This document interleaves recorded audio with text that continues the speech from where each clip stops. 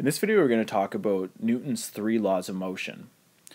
The first law states an object will maintain its current state of motion unless that object is acted upon by a force. The state of motion that we're referring to could mean the object is moving at a constant velocity, or it could mean the object is at rest. Let's look at an example. Here we have a shot of a boulder resting on a hill. Let's watch Newton's first law in action. Not that exciting, is it? We can see that the boulder is not moving, and thus it's obeying Newton's first law. It's maintaining its current state of motion. So why don't we look at another example? Here's a top view of a hockey rink. It's actually really tough to have a good example of an object moving at a constant velocity uh, because on Earth we have friction and we have air resistance. So this is really probably the best situation we could have uh, is a hockey puck on some fresh ice. The ice is nearly frictionless, and so the puck, if it was traveling down the ice, will maintain traveling in a straight line at a constant velocity unless it's acted upon by another force, like a goalie stopping the puck at the other end.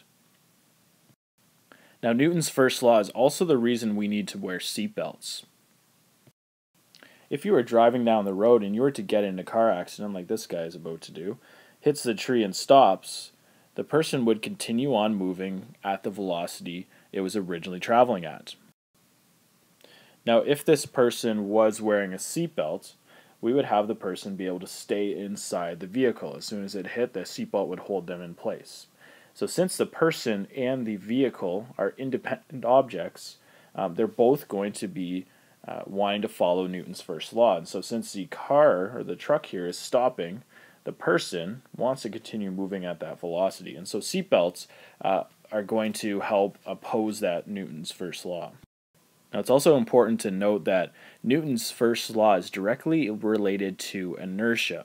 And inertia uh, is a measure of an object's tendency to maintain its state of motion. And so, the more massive an object is, the better it's going to be at following Newton's first law. Okay, let's get to Newton's second law.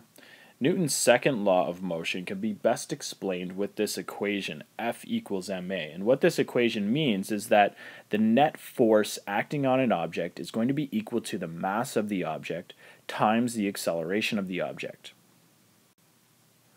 A lot of times you're going to see this symbol in front of the F, and that is a sigma, it's a Greek letter, and it means the sum of.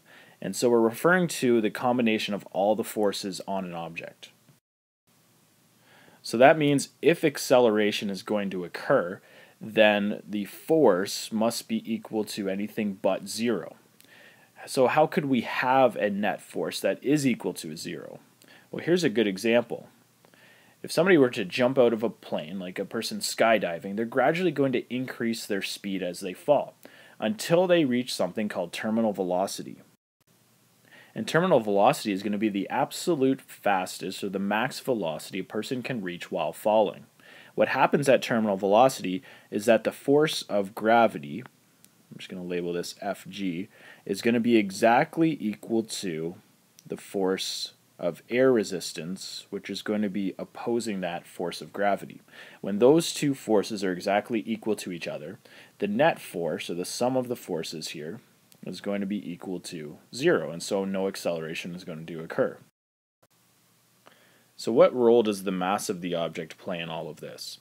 Well, if we look at the equation F equals ma, we can see that force and mass are directly related to each other. In other words, they're directly proportional. So if the mass of the object increases, that means the force required to accelerate the object is also going to increase. So on the other hand, you can think of mass and acceleration as being inversely proportional to each other. And what that means is that if the mass of the object goes up, as long as force remains the same, the acceleration of the object is going to go down. So here's an example. If you were to throw a football as hard as you possibly could, you could probably get it to go a pretty good distance in the air. Now, if you're going to take a shot put, and again, throw it with the absolute most power you possibly can, same as you did with the football, you're probably not going to get it to go as far because the shot put has much more mass than the football. The greater the mass, the lower the acceleration. Okay, let's get to Newton's third law. Newton's third law is probably the most famous of all. And this is how it's usually stated. For every action, there is an equal and opposite reaction. This is a very simplified version of Newton's third law. It's actually almost too simplified, and it actually kind of messes up our thinking of Newton's third law. So we're going to actually rephrase this in a little bit of a better way. So here's how we're going to phrase Newton's third law. Whenever an object exerts a force on a second object, the second object will exert an equal and opposite force on the first object. When working with Newton's third law, it's very important to understand that ha there has to be two objects involved. So here's what this looks like. Uh, an astronaut here in outer space is going to experience zero gravity. And we have our astronaut here with this ball. And if this astronaut was here playing catch with another astronaut in space, as the astronaut were to exert a force on the ball to throw the ball, the ball would exert a force back on the astronaut in the opposite direction. And so, since there's no friction here in space and the astronaut's essentially floating around, as soon as he started throwing that ball, he'd be pushed backwards as the ball would begin to accelerate.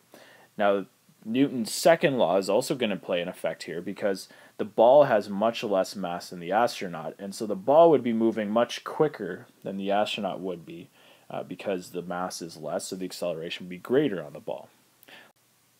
Okay, and let's look at just one more example. So here we have a close-up view of a car tire on the road. Now sometimes we take driving a car for granted.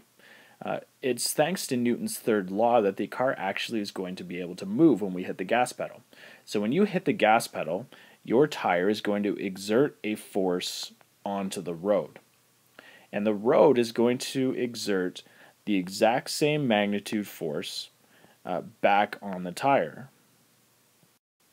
Now you may be thinking, wait, so how can the car move at all? Isn't this just a completely balanced tug of war where no one's going to win? Well, it's true that the forces are completely balanced and they're in opposite directions. However, this is where, once again, F equals ma is going to come into uh, play. So we remember that the greater the mass, the lower the acceleration. And so mass plays a very significant role on how force is turned into acceleration. The force that the earth exerts on your car is going to cause your car to accelerate forwards. It's going to start moving.